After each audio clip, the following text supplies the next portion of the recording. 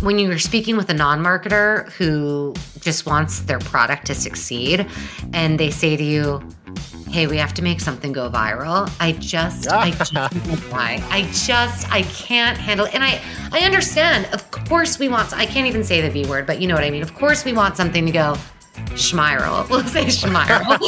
Um, but it doesn't just happen because you're creating this idea in a room, right? It happens because you snag onto something in the news cycle and it happens from, you know, creating smart narratives around something that consistently grow and Welcome to How I Made It in Marketing from Marketing Sherpa. We scour pitches from hundreds of creative leaders and uncover specific examples, not just trending ideas or buzzword laden schmaltz, real world examples to help you transform yourself as a marketer. Now, here's your host, the Senior Director of Content and Marketing at Marketing Sherpa, Daniel Burstein, to tell you about today's guest. I get a lot of PR pitches from Marketing Sherpa. A heck of a lot. That's a nice way to say it. And here's the biggest flaw in most of the pitches I see they are focused on themselves. It might literally be themselves for some people doing their own pitching, but mostly is PR pitches focused on their message or their product, whatever their client is trying to, for lack of a better word, shill. But then, among all that, there are those beautiful golden needles in a haystack that put the marketing Sherpa audience first, that focus on what value they can bring to our audience, whether through our written case studies or for guests right here on the How I Made It in Marketing podcast. So when I read this lesson about PR in a podcast guest application, it resonated with me right away. Don't spray and pray. We'll hear the story behind that lesson, along with many more lesson filled stories from Lauren Gumport, VP of Communications and Brand at Faye. Thank you for joining us, Lauren. Thanks for having me. All right, so I'm going to look at your background real quick, cherry picking from your LinkedIn here. Uh, you started as an account executive at Ketchum, where you worked on MasterCard, Nestle, Obamacare. Uh, you were director of communications at Playbuzz, director of uh, global communications at brand strategy at Guesty. You've managed teams of 10 plus, you've managed million dollar budgets, and right now you are VP of communications and brand at Faye. Tell people who Faye is real quickly. Faye has pulled in $8 million in a seed funding round led by Viola Ventures and F2 Venture Capital.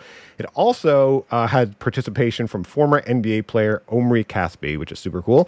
Um, so give us a sense what is your day like as VP of communications and brand at Fay? Yeah. So, I mean, every day is different, which I, I really like. Um, we're at the beginning, you know, we launched earlier this year. We built Faye Travel Insurance during COVID. We then announced our seed funding and things are moving so quickly, you know, soon after we were named this must download travel app by Fodor's Travel. And this means because we're a new brand in really an ecosystem that is dominated by legacy players, I would say we're focused on building you know trust and credibility so travelers get to know us so they get to know what travel insurance should be so they have confidence in, our product and so they continue to travel with us of course and this means a lot of time spent investing in our brand. For example, you know, the travel insurance copy that you read on our website, it's not confusing jargon or mumbo jumbo. You actually know what you're protected for when you purchase a Faye policy. And and creating copy about travel insurance is is no easy feat. If you're in the insurance ecosystem you know this. So so it takes quite a bit of time. Well I, before we get into your specific stories that just piques my ears because how did you work with the legal team and compliance and whoever insurance must be a really difficult product to not have too much mumbo jumbo for. I've worked for worked in real estate. I've written radio ads for a major car brand I won't mention, and the radio ads were so frustrating. It's like a thirty second spot, and ten seconds were you know the yeah. speed reading of some you know compliance. So, any tips there for working with your your legal friends to make that happen? I would say patience and a glass of wine at the end of the day. no, I mean, you know, insurance and compliance go hand in hand. And, you know, Faye really wants to do things differently um, in terms of how we talk about travel insurance and how we approach it. And that can be really scary. Um, for those who have been in the industry for a long time and, and, aren't used to that. So I would say it's a lot of patience, it's a lot of iterations, it's making sure that everything is factually correct but easily digestible uh, to consumers, to travelers. All right, great. Well, we're going to unpack some lessons from your current role, your previous roles. Let's jump into it and let's look at some lessons you've learned from your career, from the things you made in marketing. Uh, your first lesson is take other suggestions into account with the understanding that you're the pro, that pro excuse me, let me try that again. Take others' suggestions into account with the understanding that you're the pro in your field and have the final say. So, Lauren, how did you learn this lesson?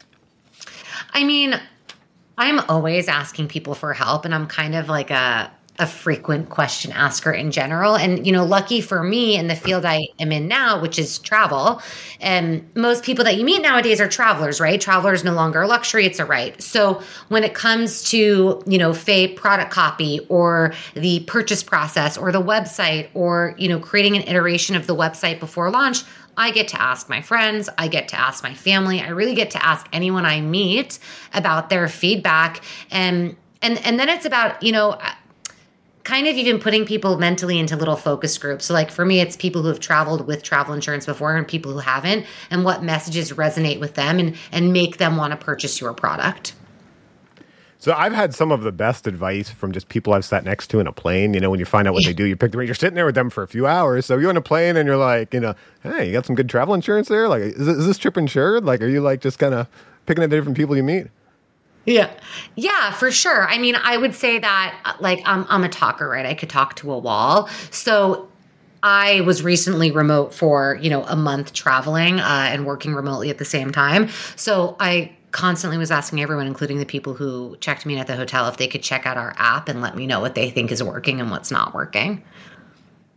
Yeah, so I also wonder how getting suggestions from others like helps you better understand the customer. Like when you're in that conference room when you're debating with the CTO or the CEO, whoever about what approach you're going to take, are you able to like pull in those stories into that conversation? And I'll tell you why. You know, we've got a free digital marketing course, and in the above the fold psychology section, Flint McGlaughlin teaches: remember the prospect is a person. Do not talk at them, talk to them. And so important to remember the humanity of the people on the other side because we've got these databases, these CRMs, these email platforms. It's you know analytics, numbers, numbers, numbers. But there's actually human beings. So have you ever been able to like pull into the, you know, the company wants to take it one direction. You're like, well, look, I was sitting next to oh, Bob oh, yeah. on the plane, and he, you know, get a sense of like bring that in and help you win the battle, so to speak.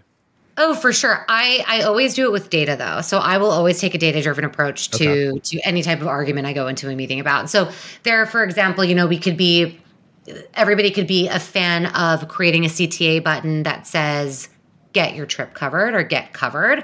And really, when we test CTAs, we do an A B test on the website and drive X amount of traffic towards one and check pricing or get a quote, which maybe aren't as fun, but they're working and they're converting more. So I am always going to go into a discussion and a disagreement with numbers to back up my argument. That's perfect. We're big fans of A/B testing. Uh, Also, wondered.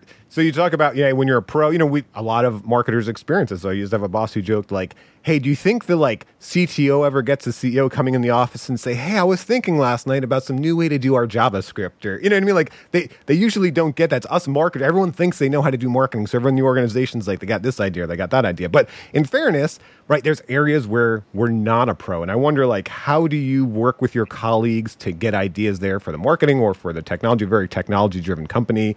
So for me, you know, I had uh, written an article for Marketing Sherpa about the job seeker's journey. And, you know, I had to reach out to all these HR folks and all because it was, yeah, it was about marketing because it was for marketers, the job seeker's journey. But I hadn't, I've been here 13 years. It's been a long time since I looked for a job. So I was like, let me reach into the HR field and see what we can learn from them. So, how do you do that? How do you collaborate with others, CTO, CIO, HR, whatever, uh, yeah. when you're not a pro? Well, I will say that as a marketer, and I think you know, I've had this, I have this say to me, said to me so many times, but when you're speaking with a non-marketer who just wants their product to succeed and they say to you, hey, we have to make something go viral. I just, I just. I just, I can't handle it. And I, I understand. Of course, we want. I can't even say the V word, but you know what I mean. Of course, we want something to go schmiral. We'll say schmiral. um, but it doesn't just happen because you're creating this idea in a room, right? It happens because you snag onto something in the news cycle and it happens from, you know, creating smart narratives around something that consistently grow. And, you know, so I definitely find that setting expectations used to be very hard for me when I was younger. Like five years ago, I could not set people's expectation. I was very much a yes person, which helps nobody. You have to set people's expectations so they understand what type of results that you're going to get them and how, and educate them on how you're going to do so. For example, a PR pitch does not mean a sales pitch about your product. It means providing thought provoking commentary and data driven statistics about a timely topic for me, when I need help on a topic that I'm not a pro in, I will cold email people. I will ask my friends for friends that they have um, who are professionals in the areas that I need help in. And nine times out of 10, those individuals will always sit and meet me for a coffee. They will, all it costs is their time. And I've, it's only done good things for me, I would say. Um, when it comes to like building your your career, I know we kind of spoke about this, you know, if I can offer suggestions for people, it's first of all, speak to those individuals, grow your network. And this is going to sound super lame. I'm going to say it anyway. Invest time in LinkedIn. And and really I'm saying like 30 to 45 minutes a week in LinkedIn, widening, broadening your network, connecting with professionals who can help you in areas that you're not a pro in. LinkedIn got me my job. My current job I got from LinkedIn because those hiring at my company noticed my um, my posts about travel, and of course now I work at a travel company. So yeah. So I'm really introverted. You're saying cold emailing. Like yes. what are you what are you putting in that email? Like where is what's the value exchange? What are you what are you offering? Like how are you doing that reach out? I mean, I also say like endless pitches from people, so I'd imagine like you really got to stick out in that inbox. Yeah, I mean, I'm pretty casual. Like, well, so it's like it's I, I will cold LinkedIn message so many people. Like, Hey, Jessica, saw your awesome post on X topic. I'm looking for a mentor in X area, and I, I, would really love to meet with you to talk about this topic. Are you free? I'd love to treat you to coffee and, and just take 30 minutes of your time.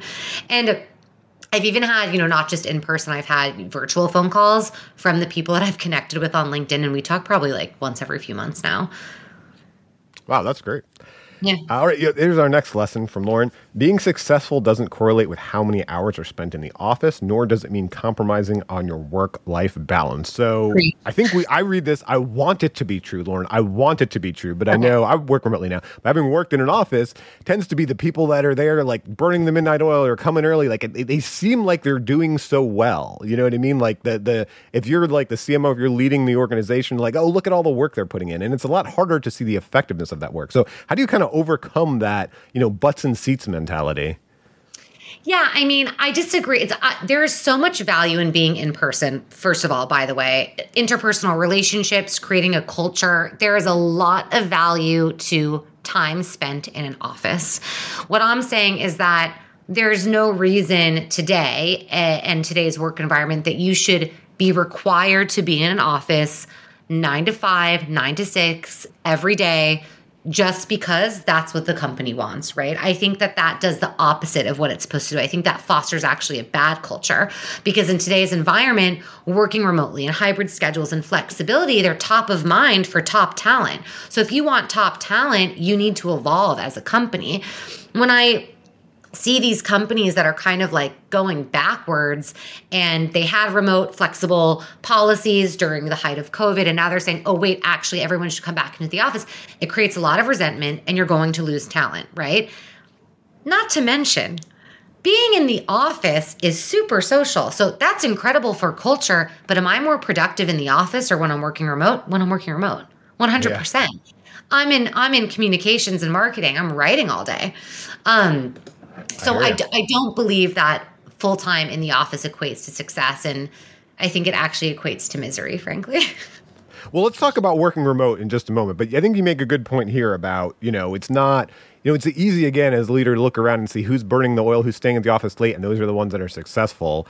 Like, do you have an example? I think you mentioned Trustpilot of how you can communicate to your organization in an organic way. Hey, the things we're doing yeah. are working, even if you don't see me at the office at 10 o'clock at night. For sure. So, you know, I'm an over communicator in general. So I think that merchandising your wins internally is super key. Um, we are a Slack company. Um, if you are a Slack company, you know what that means. We're very little email, etc. So whenever we get any type of media mention or new partnership, new hire, um, you know, celebratory moment, it is shared on Slack in the relevant Slack channel. So with Trustpilot, you know, a, a review site, we had a goal to get to 4.7 out of five um, within six months of launching. We met that goal. We were super excited. So in real time, of course, I'm sharing that with the team. I'm providing them with suggested copy that they can share on their own personal social channels. They don't have to, but we're making it this celebratory moment. It makes everybody want to organically share this with their communities. And then in turn, it just helps us with hiring because everyone is seeing all of their friends, all their connections posting about this great achievement of ours in such a short time. Um, and it helps with recruitment.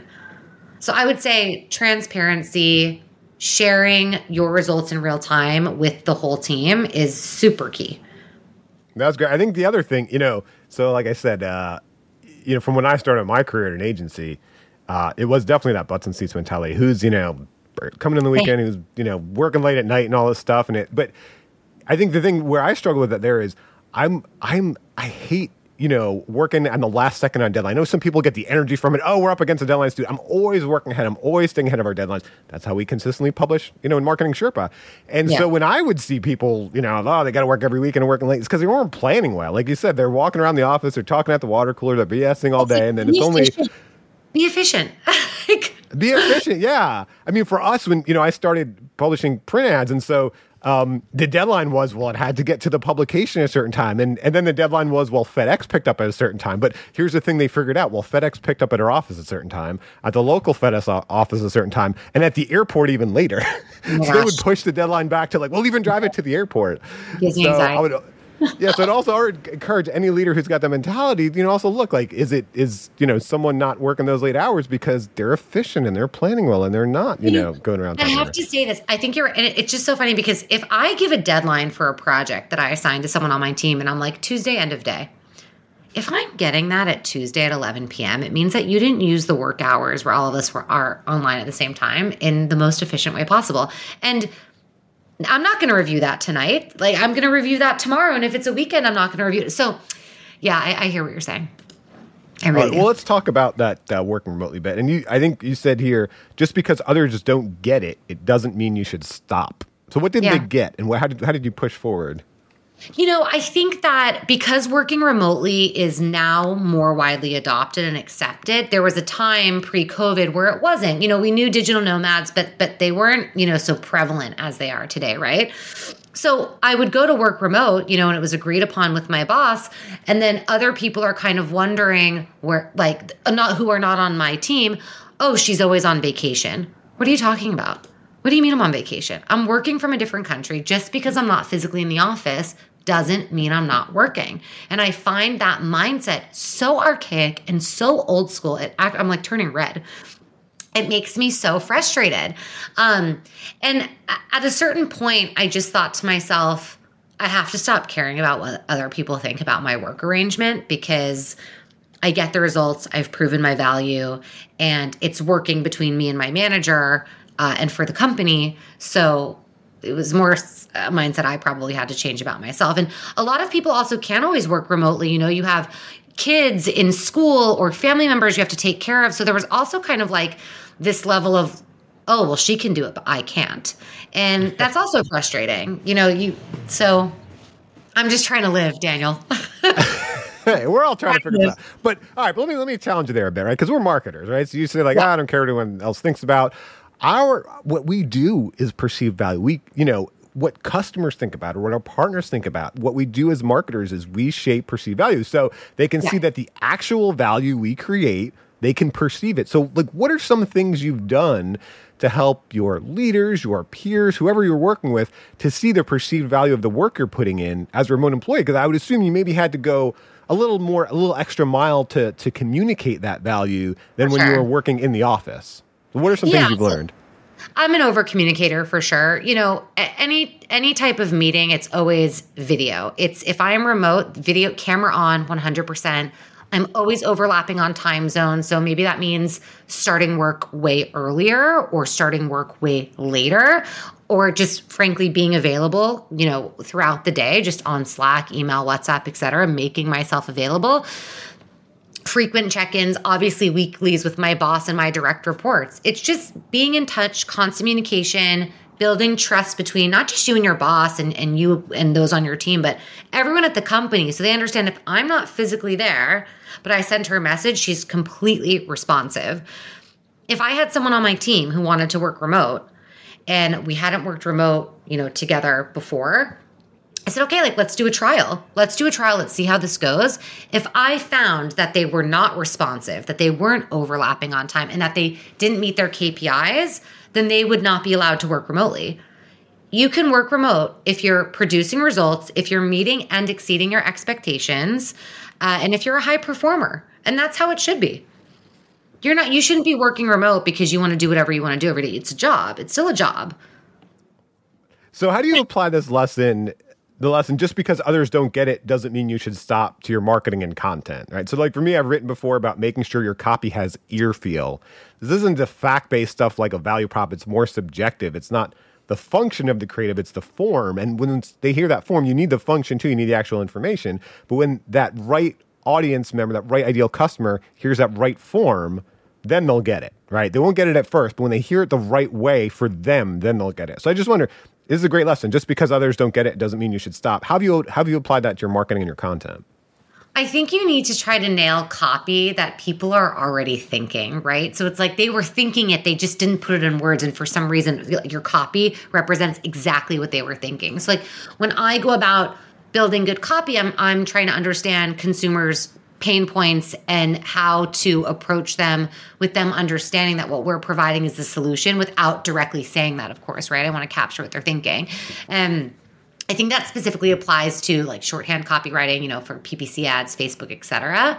Um, so, like for example, right now, everyone's losing their bags, right? Nobody wants to lose their bags. Okay, so addressing that, you know, everyone's losing their bags, um, everyone's buying air tags to track their luggage, me included. Um, or if I'm writing like an op ed or a pitch, I always start with the headline or the subject line. It's like what I want people to open with, the feeling that I want them to get when they read what I'm writing. Yeah, don't bury the lead. That's a traditional uh, journalist practice. I love that. Yeah. Um, well, we talked about some lessons from the things you made in marketing. Let, us look at some lessons from the people you collaborated with. Yeah. Uh, so, this first lesson is when things go wrong, it's an opportunity. And you learn this from Elad Schaffer, the CEO of Faye. So, how did you learn this from Elad? Yeah, so Elad is a CEO and co founder of Faye Travel Insurance. He's my boss. He's an incredible boss who, uh, really like fosters me working remotely and, and understands that it inspires me. And I lost my phone in a water related incident. Um, and I wasn't I wasn't available for 24 hours on my phone and obviously I just was terribly upset over it. I'm in communication. We're always available. I oh, my phone is my best friend. It's terrible. I mean, I'm like prying it away from myself at night so I can get some sleep. It's like a terrible habit.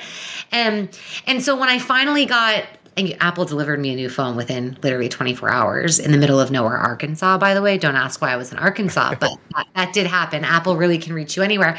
So, and I apologized profusely. I mean, no emergency happened, right? It was everything was a okay.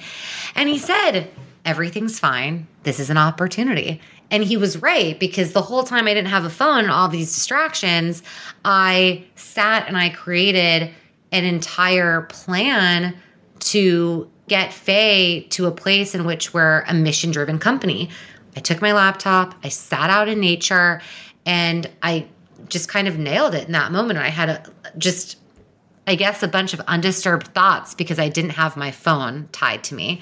Um, and I appreciated that piece of advice. You know, he has great perspective, and frankly, he acts as half therapist many times for me. He's a boss, but he's also really, I swear, he's like my therapist. Um, so yeah, I really value approach. Yeah, my CEO. That's a good CEO. Act as a part-time therapist too. Uh, I, I mean, I love, I love that idea. When things go wrong, it's an opportunity. Right? There's always an opportunity in everything. If we, it's, it's just if we look at it in the right way, right? Yeah. And also, that idea. I wonder, do are you now like you're going to like purposely unplug at times, or you know, I've seen I have not been good at this, but people who message like, okay, hey, for four hours this day or whatever, everything's turned off. You won't be able to reach me because, like you said, you just maybe need to go out in nature and think and brainstorm and concept. Like, have you ever have you been yet able to work this into your workflow or? You know, I don't think I'll ever be that person. I would. Like I know. I want to be that person too. Yeah. yeah, and it's like there are there. Are, you know, when I take a vacation, though, I take a vacation. So I, I will just say I take a vacation, but um You know, I will say that I am trying to be the person who doesn't sleep with a phone uh, on the bedside table next to them. I'm trying to put my phone on the other side of the room. And that's actually working quite well because you're not waking up in the middle of the night and immediately checking your phone, which just kind of wakes up your brain, etc. Yeah. So. All right, let's look at the next lesson. It said, don't spray and pray. And you learned this from Perry Hedrick, founder of Crackle PR. So, how'd you learn this from Perry? So, if you're in PR, you should be following Perry Hedrick. He is just, he says everything that PR professionals are thinking. So, I didn't necessarily learn this from him, but he put it into words that are, it's ex- exactly what it means. You cannot send a basic PR pitch, the same one, to hundreds of reporters and expect them to be interested in your story. You need to tailor your approach to specific reporters and what they write. For example, hey, Vanessa, I saw you wrote about this topic. I wanted to introduce you to X product because we also address X scenario. Let me know if I can be a source for you for future stories. My co founder can talk to you about, and then you list three topics, right? And Vanessa knows you read her articles, you reached out. You're not sending the same pitch to everybody. Um, Perry has some very keeping it real type of PR tips. If you need a crash course in PR, I would follow him on LinkedIn. He's hysterical. Um, but this this approach has always helped me in PR to achieve top tier media for the brands that I work for. Is first of all, I love hearing this because and marketing Sherpa, as I said, we get pitched all the time, and we get you know some really good pitches, and there's also just a ton of spray and pray, and they're so focused on themselves, right? Yeah. Um, but can you walk us through like specifically how you did this for you know like a mention you got? I know I saw uh, you know I was looking at your application. It was Wall Street Journal, USA Today. I think you mentioned New York Times. You've gotten some really good mentions, like uh, yeah. like for the Wall Street Journal ones, or did you were you researching that reporter first? Like how, how specifically yeah. were you doing that? So I, you know, I make a targeted media list of who's covered X topics. I reach out with timely data if it's like holiday planning because Thanksgiving is coming up, for example, and there's a reporter that's writing about holiday travel. I'm sending a pitch to them. I remember when I was at Playbuzz, I you know, pitched a. Uh, I, I noticed that this reporter was covering startups with a really personable and like personal stories about their investors. So I pitched him and I told him, hey, our lead investor loves our product, believes in us so much to the point where they even reserved an office just for themselves within our office so they could work in the same environment as us full time. And that got us the story. You know, another way I got the story was just understanding what was newsworthy. We had a funding round one time again at Playbuzz. Disney was one of the investors not the lead investor, but one of the investors. And that's really big. It's really big news. So I led with that, and it resulted in probably like, I think it was like Bloomberg, Wall Street Journal, Financial Times, all of the above. And more recently, you know, I ran into a New York Times reporter at a hotel opening party, found out she was from San Diego, and I messaged her personally because I'm from San Diego. So it's personal, long term relationships, and just being relevant I think Nobody wants a sales pitch. I'm sorry, go on. Nobody wants a sales pitch. I know people. I always say people want to be served; they don't want to be sold, right? You know. And in thinking, I, it's true. And as a reporter on the other line, like I, I, we want case studies. We want good guests. That's something we need that we work hard for. So I don't want to ignore pitches. I don't want to say no to pitches. I want them. Yeah. But you know, there are so many that are so relevant. Again, there's so many I get. They're focused on themselves or whatever they're shilling. There's so much corporate PR speak. Like even when you're like, okay, we've got this good case study you know, let's get you know, let's get some advice for the marketers, get some advice for our audience. You know, real real advice from a real human being. It's so much like corporate PR speak with. Well, let's work in the keywords and the product mentions we need to get in because we're getting that mention versus you know talking like human being. Ninety percent of pitches are probably trash. I think they're trash, and you know, my pitches are so. It's like, yo, saw you covered this. Would you be interested in this? I can speak to, and I give them three topics. Super casual. And I cannot remember the last time I spoke to a reporter on the phone. It's all via email. They don't have time yeah. to speak on the phone. Yeah, exactly. Yeah, I mean, I'll get so many pitches. Like, here's a bit, and like, oh, let's set up a call. Oh, Everyone wants to set up no. a call. They're, they're, like, they're like sales reps. It's kind of like, no, I need the information now. The other thing yeah. I want to mention is, you know, like how much of your time, or like how do you have advice around there of, of how much you invest in, into PR? Because PR can be very time consuming. When you mentioned Perry, I assumed this was your PR agency and you had a PR agency working. Oh, so the fact that you're bootstrapping it, doing it yourself, yeah. and I'm sure there's many other things you're doing. So like, how do you how do you have you balance that time investment that PR takes? Yeah, I mean, so PR takes you know you have to do a lot of writing and and a lot of you know creating um, new and thought provoking content. So you can't use the same thing over and over again. I would say we're a startup. I don't have budget for a PR firm yet. When I do, I will be talking to Perry. Um, I, I think that probably 50% of my time is spent on PR, which is more than media relations, right? It's like speaking submissions for our executives at events, it's award submissions. And at the end of the day, we're we're really focused on building this trust and credibility to to be the most beloved, most trusted travel insurance company worldwide eventually, currently in America. Um, and that takes an incredible amount of time and commitment. And I, I, would say to people who don't have in house communications or an in house PR pro and they're early stage and they're looking to get a PR firm, I wouldn't expect much because you can't give that PR firm so much of your time and they're not living and breathing your product. You need to, in my opinion, have somebody in house working on comms if you're early stage to be truly successful with your narrative from the get go. And also, under since you're in house, like how much are you able to shape your narrative? Like how much, you know? So like at a bigger company, it tends to be like it's just flowing down. These things are going on. Let's try to get press for them. But you know, you're there. You're sounds like working directly with the CEO. Are you able to? you know, affect uh, the things they're doing in the product, you're able to affect the things they're doing on the website or partnerships or different things they're doing to say like copy. I'm not just like, PR. Yeah, I'm, I'm product copy, website copy, blog copy, social copy and PR messaging. So, have so, you been able to say, "Hey, this would be newsworthy if we added this yes, topic," or if we, or like, have you, you know, as you mentioned with the, um, you know, disclaimer copy? T- talk us through that. Have you right. done that? Well, so as long as things are compliant, we're okay, right? So everything needs to be compliant, creative and fun, but compliant. So I will send a batch of content to be reviewed all at once. And then if it's been reviewed, I will not send the same piece of content ever to get reviewed again, right? So that kind of that that saves quite a bit of time that I have a bank of content. But you know, I think when it comes to PR, you know, content has to be compliant when it comes to your product and services and travel insurance. When it comes to PR, well, we're providing commentary about the industry and, and tips on holiday booking travel and um, third party data based on studies we're doing. So I don't need to check that that's compliant. I mean, that has nothing, that has everything to do with what we can comment on and how we position ourselves, but nothing to do with our product specifically. Faye Travel Insurance is getting mentioned in those stories because of our executives getting quoted, right? Um, so yeah, I, I hope that answers your question.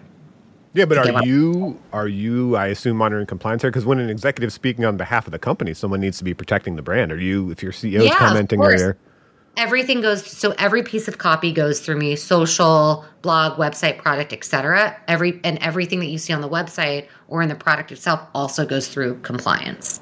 And and that adds another it adds more time spent. I mean it's not it's not so quick to turn around copy like that that needs to be reviewed for compliance. Yeah that's always a challenge uh, yeah. Let's look at one more lesson here. If you're not embarrassed about the first iteration of the product you put out, then you're doing it wrong. And that's from Dan Green, the co founder and CTO of Faye. So, what can perfectionists learn from Dan? Wow. So, you know, working at Faye, um, I got the pleasure of seeing a product that didn't exist get created and then it was launched, right? And I think when you're about to launch a product for the first time, there are so many things that you wish it had that were on the original list that you had to put on the back burner because you need to get to the market ASAP, right? And we knew we have such a great product market fit. We knew how much everybody would love our product. And so some of those things had to be delayed a little bit, right? And I remember Dan saying that in a meeting, and I remember really taking that to heart. It doesn't always have to be perfect. I think that message applies to everything. And the first iteration of your product doesn't have to be perfect, and we will fix things and we will iterate and we will improve and we will be the best, but it is okay to release something that is not perfect yet. Now, of course, we're perfect. It's been a few months. well, and so, and how do you then get to perfect? And what I mean is, you know, there's that idea of the minimal viable product. I prefer minimum awesome product because, you know, sometimes you get one exposure to a customer, that first exposure, if it doesn't meet their needs or their wants or they don't think it's good enough, then they're gone. So I mean, it has to be a yeah. well, it doesn't have to be perfect. It has to be a certain level of good, or you're gonna, you know, lose that opportunity with them. So you mentioned A/B testing. Um, so yeah. what are you doing to then like, okay, learn about, you know, get that customer feedback from the customer, from your marketing to understand like, okay, here's the next iteration, next iteration. Here's how we need to improve. Because it's one thing to not yeah. be perfect coming out the gate, which I totally agree with, but then right. you better have some continuous improvement baked in, right? Oh, for sure. So we're constantly A/B testing. You know, we're constantly doing it with, uh, for example, like our our key call to action. You know, should it be get covered? You know, which is a little bit more fun. You know, protect your trip, or should it be kind of what everybody's used to, which is get a quote, check pricing, and we had what we wanted it to be, and then we tested it and check pricing really checked out. You know, it was what was converting the most. We also looked at, I would say, the purchase flow. So we saw where people were dropping off, and we had some inklings as to why that was happening. And one of them was, hey, maybe we shouldn't ask for customer's full name first. Maybe they don't they don't want to provide that first. They want to provide their trip details first, where they're going and the dates, name later for example. And that also worked. But again, we tested it. We drove a specific amount of traffic there. We waited a bit. We looked at the numbers and then we optimized. That's a really interesting point because one thing um, I think about or I've written about too is momentum marketing. The idea is like, how do you get that ball rolling with the customer? And so if you're starting with the thing the customer is most excited about, in this case, the trip, versus exactly. starting with the things that you want or need, like, email address or even worse, phone number where they're like, oh, this is just a sales pitch. So I love that lesson. Yeah, yeah, definitely. All right, final question here. Uh, we've talked about all different things about what it means to be a marketer. Uh, what are the key qualities of an effective marketer, in your opinion, Lauren? Effective marketer, I would say you have to be an excellent writer. You have to be scrappy. You pivot fast without getting emotional about it. I mean, you could have an amazing plan one day and the next day the company has completely changed course and you just you can't cry about it you got to just pick up and move on um, and i would say you think and plan ahead at a certain point as a marketer and a comms professional you you need to understand seasonality you need to plan ahead you need to plan you know a, a few months in advance to really nail your campaigns it, if you have the resources of course that's what I would say. I like that. I like Scrappy. I haven't we've you know asked a lot of people this question. I haven't, I haven't heard Scrappy before, but it's very true. You've got to be Scrappy, especially to startup. You got to just figure it out, right? Of course, you have to be scrappy, and it's like, you know, nowadays everyone's like, well, I just want to do one job, one specific role at the company, and and it's like in startup life, it's like, no, I'm I'm wearing five to ten different hats a day, and I can't just be writing email marketing copy. That that's that's not re- reality in startup land in Startup Land. Very true. Well, thank you for sharing your lessons from Startup Land, Lauren. It was very interesting. Thanks for having me. It was really fun. And thanks everyone for listening. Hope you got some good lessons for your marketing campaigns and career.